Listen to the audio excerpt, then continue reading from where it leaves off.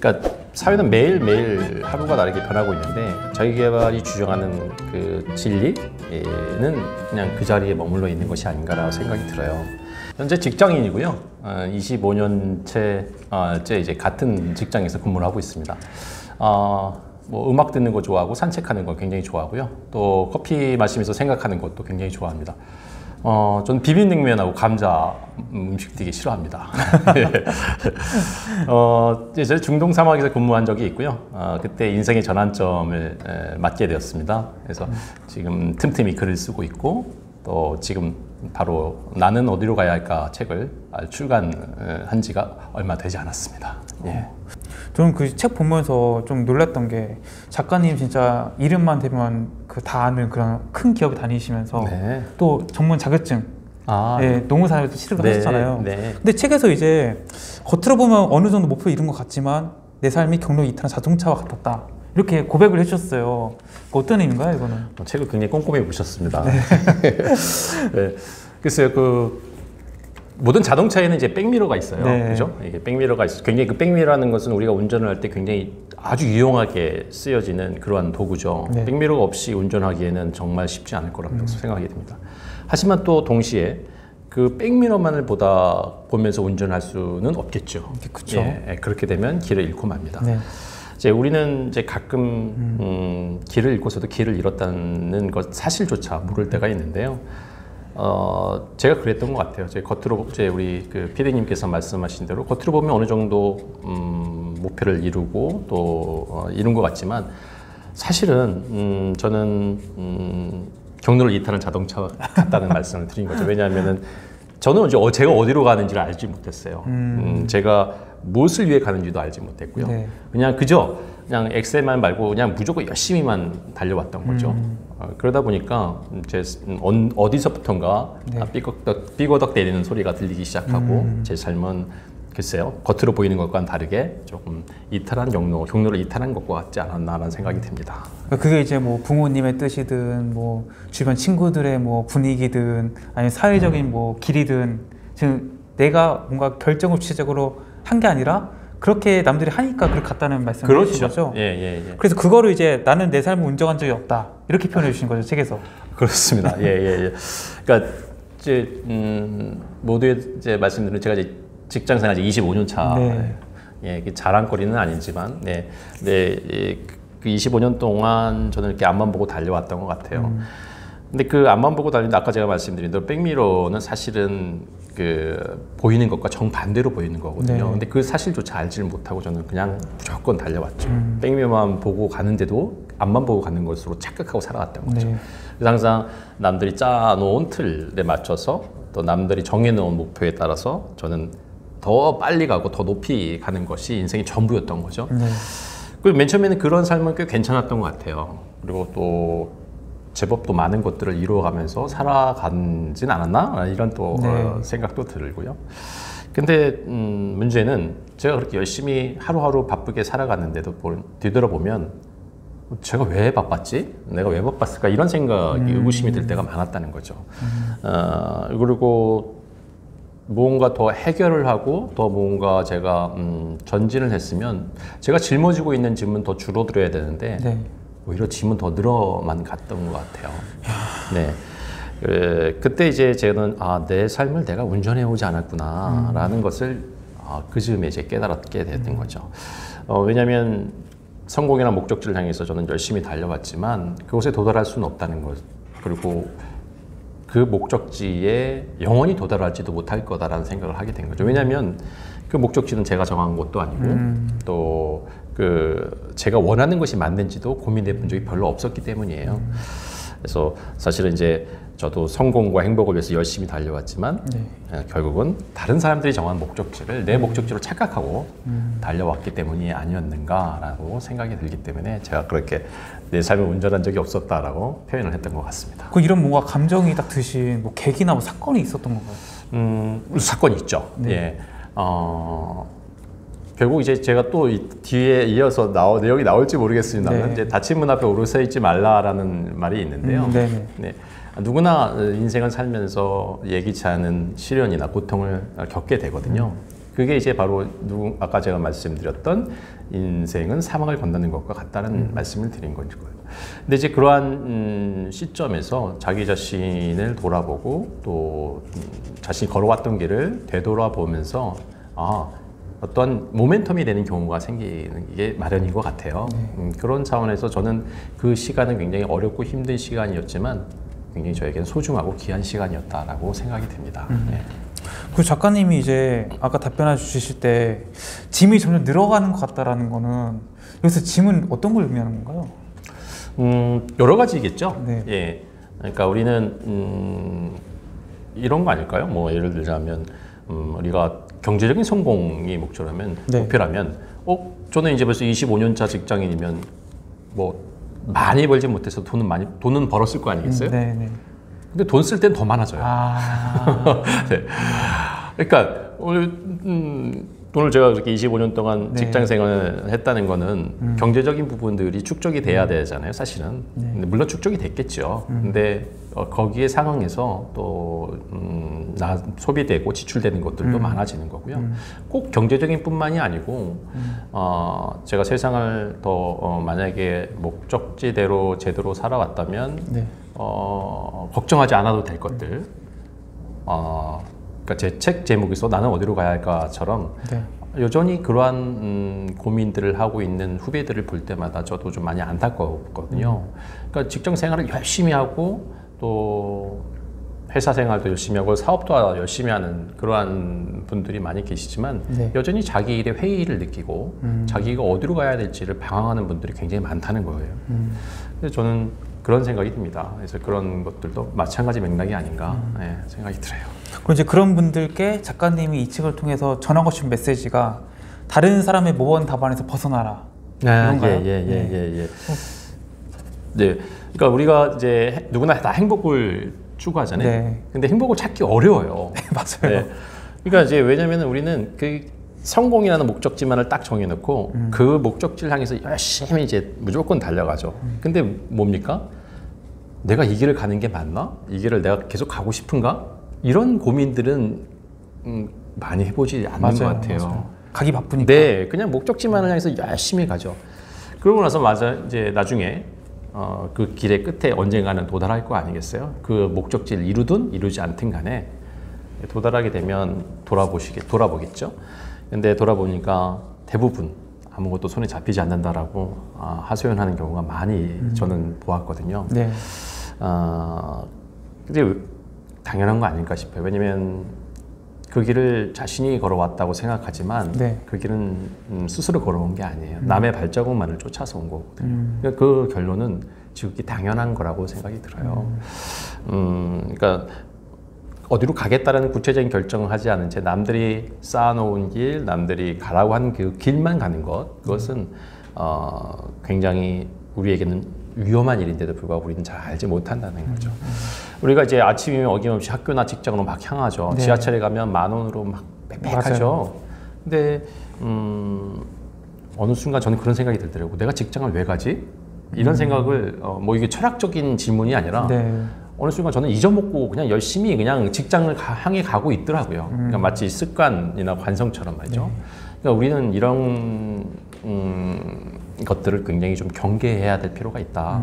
음, 그런 차원에서 자신의 삶을 좀 점검해보고 되돌아본 필요가 있다는 것을 저는 이 책에서 좀 말씀을 드리고 싶었고 어, 예를 들자면 이제 우리 한때 miracle morning이 유행이었어요. 아, 그렇죠? 네, 지금도 아마 miracle 야, morning이 유행이죠, 많이 예. 해. 근데 물론 이제 일찍 일어- 일어나는 것 굉장히 좋은 습관을 갖는 것이고 유용하죠. 음, 저도 이제 한때는 miracle morning에 푹 빠졌었던 네. 적도 있었고요.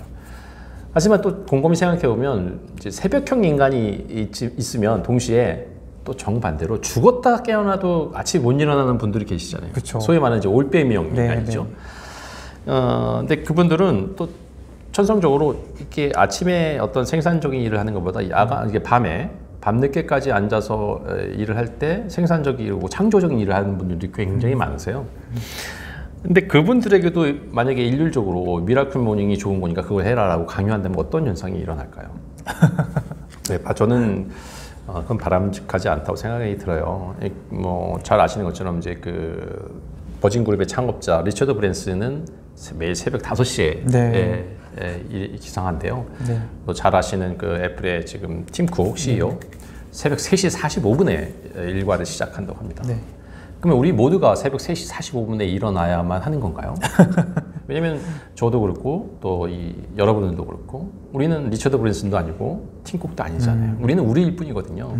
네, 우리는 어떤 miracle morning이 물론 좋은 거지만 그런 특정 시간을 고집하는 것보다 네. 나에게 맞는 시간이 어디인지를 먼저 알아내는 것 그것이 더 우선이 돼야 되지 않을까 이런 생각이 듭니다. 그럼 작가님이 말씀하시는 이제 그 팀쿡이나 리처드 브랜슨의 사례를 들었잖아요. 네. 그러니까 많은 사람들은 사실 팀 쿡이나 리처드 브랜슨의 그 가진 돈, 그들이 뭐 우리 사회를 바꾼 뭔가 영향력 이런 것들을 이제 자기도 하고 싶으니까 이제 그렇게 그들처럼 아침 일찍 일어나면은 나도 그들의 부에 뭐 10분의 1, 100분의 1 정도 가질 수 있지 않을까 이런 어떤 마음 소망에서 이제 비롯되는 건데 작가님께서는 이제 그 욕망 자체도 어쩌면 네게 아닐 수 있다. 그렇기 때문에 책에서 성공의 기준을 다시 써야 된다고 말씀하신 거죠? 아, 예, 맞습니다. 맞습니다. 네, 아, 예리한 질문 아주 네, 날카로운 질문이었는데요. 네. 그렇죠. 어, 제가 사실 이 책에서 제일 먼저 질문하는 거는 음, 서두로 꺼냈던 게 과연 우리가 믿는 성공이 성공인가? 아, 성공이란 과연 무엇인가라는 것부터 시작을 하거든요. 네. 어, 우리는 대부분 이러잖아요. 직장에서는 빠르게 승진하고 아, 좋은 아파트 갖고 고급 자동차를 가지면 성공이라고 생각하는 경향들이 있습니다. 어, 그래서 그 성공을 위해서 방금 말씀해 주신 대로 리처드 브랜슨이나 팀 쿡을 닮아가기 위해서 열심히 고군분투한 삶을 네. 살아가죠. 하지만 문제는 그러한 성공에는 음, 내가 한 단계를 완성을 해서 이루고 나면 또 그 다음 단계의 목표가 성공에 대한 목표가 주어진다는 거거든요. 그러니까 아까 말씀드린 대로 우리는 그 목- 음, 정신없이 앞만 보고 달려가다 보지만 달려가지만 그 제가 짊어지고 있던 짐은 좀처럼 줄어들지 않는다는 얘기예요. 예. 그러니까 어, 우리는 반드시 성공해야 돼 이런 세상적인 가치관에 세뇌돼 당하면서 이렇게 살고 있는지는 모르겠습니다만 정말 우리가 성공이 무엇인지 확신하지는 못해요. 어떤 게 성공인지. 그러니까 마치 양떼가 에, 양떼 무리가 앞에 그 무엇이 있는지도 모르고 그냥 열심히 앞 양의 뒷공무니만 쫓아서 가거든요. 그러다가 맨 앞에 있는 양이 낭떠러지에 떨어지면 네. 뒤에 있는 양들은 저절로 다 따라서 낭떠러지에 떨어진다고 해요. 어, 마치 우리의 삶도 그러한 것이 아닌가라는 좀 생각을 해보게 됩니다. 그러니까 사실 성공이라는 거 굉장히 중요하죠. 네, 그 결코 나쁜 것이 아니죠. 근데 그 자본주의가 요구하는 그 경제적 성공, 그게 과연 내가 추구하는 성공과 일치하는 것인가? 이것도 한번 의심을 해봐야 되는 것이고요. 음, 왜냐하면 성공의 기준은 우리가 얼굴이 다 다르듯이 네. 다 다를 수 있거든요. 그러니까 하나의 모양대로, 하나의 형상대로만 성공이 존재하는 건 아니잖아요. 그래서 뭐 예를 들어서 아무리 돈을 많이 벌어도 아무리 많이 돈을 벌어도 자기가 하고 싶지 않은 분야나 자기가 하고 싶, 원하는 일이 아닌 데서 만약에 돈을 많이 번다면 그걸 성공이라고 할 수 있을까요? 저는 그런 의구심이 좀 듭니다. 그래서 자신만의 성공 기준을 만들고 그 기준을 충족해 가는 것이 현명한 길이 아닌가라는 말씀을 드리고 싶어요. 작가님이 이제 하시는 말씀 듣다 보면은 네.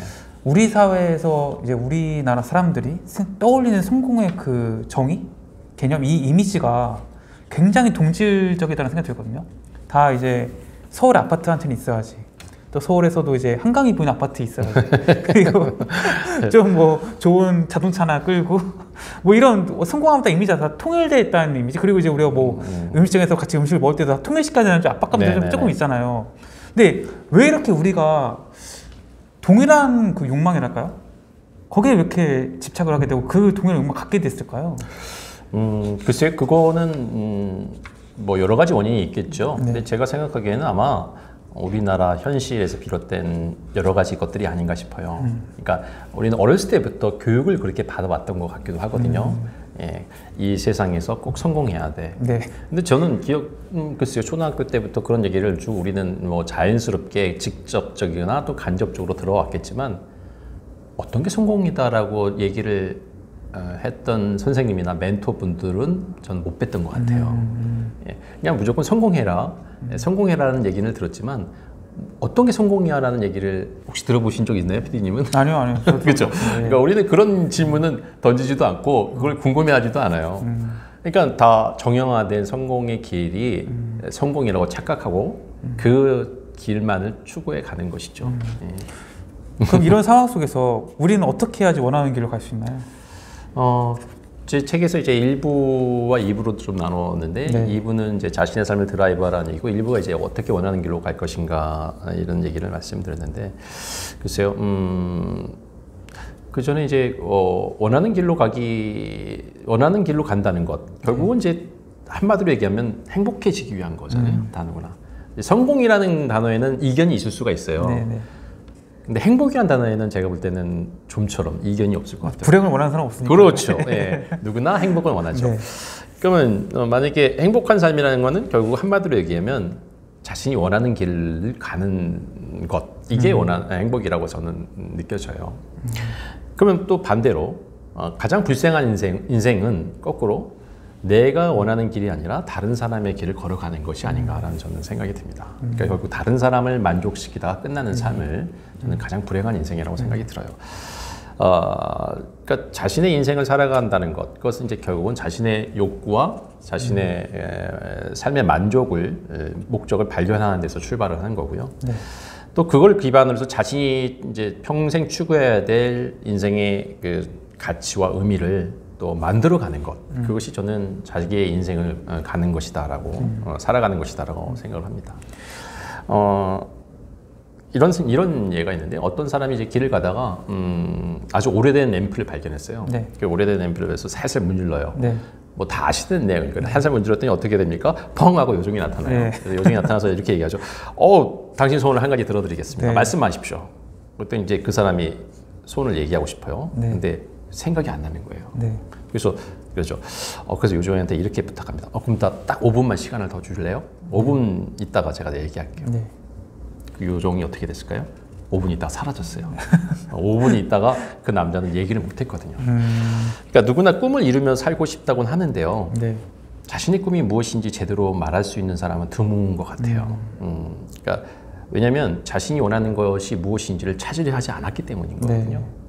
그러니까 그저 다른 사람이 하는 말을 따르고 스스로 뭐 주도적으로 무언가 해보려고 하지 않고 그냥 그 길만이 가는 것 전부라고 생각했던 것이죠. 그리고 저는 또 원하는 길로 가기 위해서는 또 무엇보다 타인의 시선에서 자유로워져야 된다고 생각이 들어요. 그러니까 우리는 다른 사람을 이렇게 시선을 생각할 때 우리는 정말로 행복해질 수가 없거든요. 만족할 수 있는 삶이 될 수가 없어요. 그렇게 되면 항상 긴장하고 또 누군가가 나를 쳐다본다는 생각 때문에 그 사람의 눈치도 살펴야 되고요. 음, 또 그 사람들에게 좋은 모습을 보이기 위해서 더 애를 많이 써야 되는 거죠. 그러니까 평생 다른 사람의 음, 만족시키기 위해서 제 자신을 에너지를 쏟아야 되는 거거든요. 그거는 결코 원하는 길로 가는 것이 아니죠. 그래서 음, 자신을 위해 다른 사람을 위해 살아가는 삶이 아닌 자신을 위해 걸어가는 삶 그것이 바로 저는 원하는 길로 가는 것이다라고 생각이 듭니다. 책에서 이제 그 자신이 원하는 길을 찾기 위한 구체적인 방법까지도 말씀해 주셨어요. 이제 3T1S 법칙이라고. 아, 예, 예, 네. 예, 예. 그건 어떤 법칙인가요? 네, 음, 방금 말씀해 주신 대로 이제 어떻게 원하는 길로 갈 것인가를 좀 구체화시켰던 음, 건데요. 단계별로 이제 저는 이제 그 원하는 길을 가기 위해서 4단계의 얘기를 좀 하고 싶었어요. 네. 첫째는 이제 음, T가 이제 세 개의 T와 이제 하나의 S인데요. 네. 첫째는 이제 타겟팅이었어요. 그래서 이제 우선 자신을 발견하고 자신의 목적지가 어디로 향하는지를 먼저 인식을 하라는 거거든요. 그리고 두 번째는 이제 throwing away라고 해서 우리가 하나의 진리라고 믿었던 기존의 자기개발 원칙들이 있어요. 그 자기개발 원칙들의 다섯 가지를 어, 근본부터 좀 의심하고 정 그거를 우리는 당장 나에게 필요 없는 거라면 버려야 된다. 오히려 네. 그것이 내 삶에 아, 긍정적인 작용을 할 것이다라고 생각을 했던 거고요. 그리고 이제 세 번째는 음, testing이에요. 그래서 그 우리가 어, 인생이라는 길을 걸어가기 위해서 정말 그 삶의 본질적인 의미와 가치를 찾기 위해서 여섯, 음, 여섯 가지의 자기 점검을 통해 음, 체크를 한번 해봐야 된다라는 말씀을 드렸고 마지막으로는 이제 어, 제 책에서 음, 주장하는 주제 중에 하나였는데요. 이제 이제 자기 성숙의 길로 나아가라는 얘기, self maturing이라는 단어를 썼는데요. 네. 그래서 아까 제가 말씀드린 인생은 사막일 사막을 닮았 사막을 건너는 것과 아, 같다라고 말씀을 드린 차원에서 그 사막을 건너기 위해서는 어, 자기 개발을 넘어서는 자기 성숙의 길로 나아가야 된다라는 얘기를 드리고 싶었던 겁니다. 이 자기 개발과 자기 성수가 어떻게 좀 다른 건가요? 자기 개발은 어, 뭐 여러분 다 그 내용들은 음, 대부분 아실 것 같아요. 어, 굉장히 좋은 내용들이 많이 있죠. 하지만 음, 자기 개발은 여전히 성공지향적 관점에 머물러 있는 것 같아요. 음, 그러니까 사회는 매일 매일 하루가 다르게 변하고 있는데 자기 개발이 주장하는 그 진리는 그냥 그 자리에 머물러 있는 것이 아닌가라고 생각이 들어요. 그러니까 자기 개발의 맹점이 바로 여기에 있는 거죠. 그러니까 음, 아까 말씀드렸듯 경제적 성공이 에, 추구하는 삶의 절대적인 목표다라는 것이 자기 개발의 출발점이라면 이 개인은 끊임없이 이제 그 노력을 하게끔 내몰죠. 네. 그래서 근데 이제 그 문제는 그러한 삶이 어느 정도 목표를 이룬다고 하더라도 그 행복은 나의 행복이 아니라는 데 있는 거예요. 왜냐하면 저는 나는 여전히 부족하다라는 생각에서 헤어나올 수가 없거든요.